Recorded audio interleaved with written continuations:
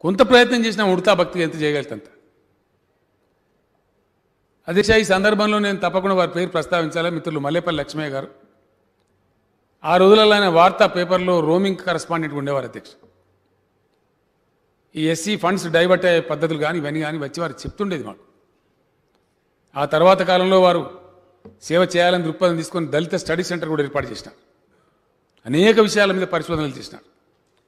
వారితో పాటు కొంతమంది సిట్టింగ్ ఎంప్లాయీస్ కావచ్చు రిటైర్డ్ ఎంప్లాయీస్ కావచ్చు అనేక మంది మేధావులు కావచ్చు. పాల్గొని చాలా పరిశ్రమ చేసినారు. స్టాటిస్టిక్స్ డెవలప్ చేసినారు. మాకు ఇచ్చేవారు వారు ఆ రోజులలో. మేము అపోజిషన్లో ఉన్నప్పుడు కానీ టీఆర్ఎస్ ఉద్యమం జరిగేటప్పుడు కానీ అనేకమైన లిటరేచర్ మాకు ఇచ్చినారు. కొట్లాడినా మేము కూడా ఆ రోజు. ఈ సప్లాన్ యాక్ట్ దేవాలి ఖచ్చితంగా అని చెప్పిన దానిలో మేము ఉన్నాం అధ్యక్ష ఆ రోజు. అది మల్లెపల్లి లక్ష్మయ్య గారు మాకు ఇచ్చిన ప్రేరణ ఆ రోజు.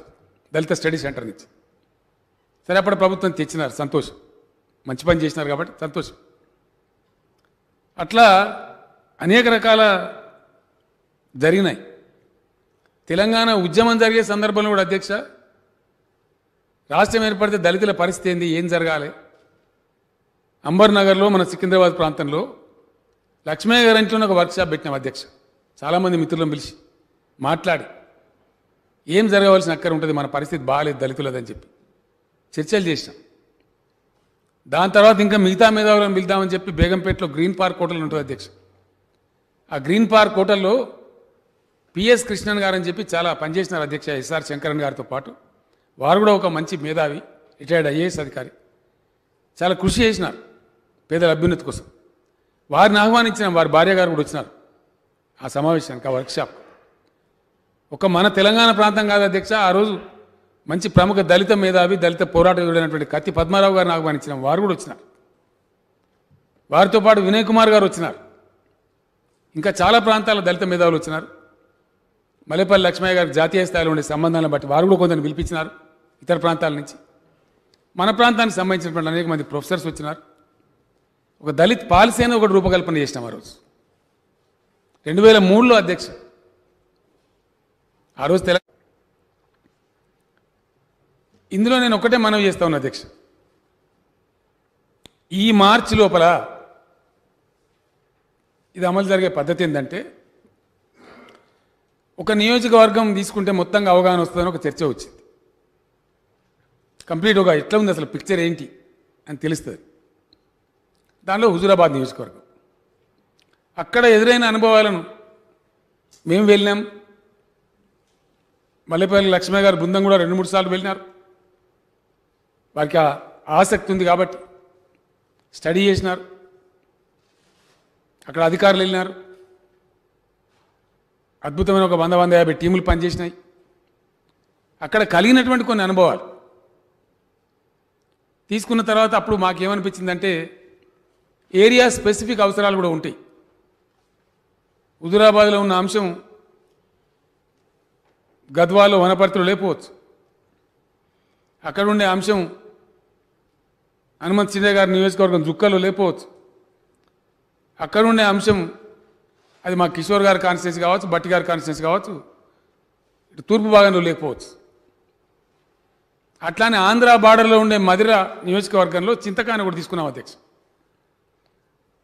తుంగతుర్తిలో ఒకటి తిరుమలగిరి మండలం తీసుకున్నాం. చారకొండ అని అచ్చంపేట నియోజకవర్గంలో ఒక మండలం తీసుకున్నాం. నిజాం సాగర్ అని చెప్పి తమకు తెలుసు అధ్యక్ష జుకల్ నియోజకవర్గంలో ఉండేది దాన్ని తీసుకున్నాం. నాలుగు డిఫరెంట్ డైరెక్షన్లో తీసుకున్నట్టయితే ఇంకా కూడా అనుభవం వస్తుంది. అందులో నుంచి మనకి ఇంకా నేర్చుకునే అవకాశం ఏర్పడుతుంది. తద్వారా ముందు పోతామని అనుకున్నాం అధ్యక్ష.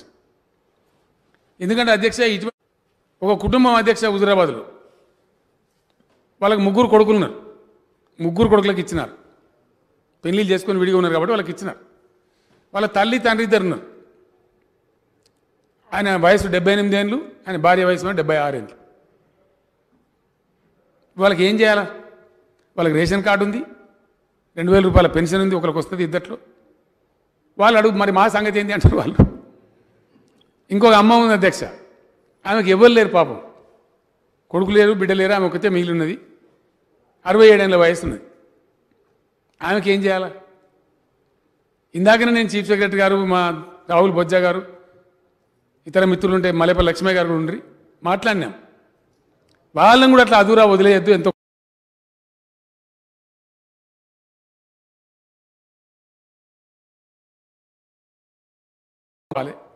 ఉత్తమంగా ఉంటుందని ఒక ఆలోచన వచ్చింది అధ్యక్ష. ప్రాసెస్లో ఉంది. అంటే ఇట్లాంటి చిన్న చిన్న వ్యవహారాలు కూడా ఉన్నాయి. బట్టి అనగానే ఆయన ఇట్లా నోటకెళ్ళంటే మన ఇట్లా కాదు కదా అధ్యక్ష ప్రాక్టికల్గా పోతున్నప్పుడు వచ్చే అనుభవాలు. దీనిలో చాలామంది దళిత మేధావులు ముందుకు వస్తూ ఉన్నారు. నేను లక్ష్మయ్య గారు కూడా కృతజ్ఞత చెప్తా ఉన్నా వారు ఒక డెబ్బై ఐదు మందితో టీం తయారు చేసినారు.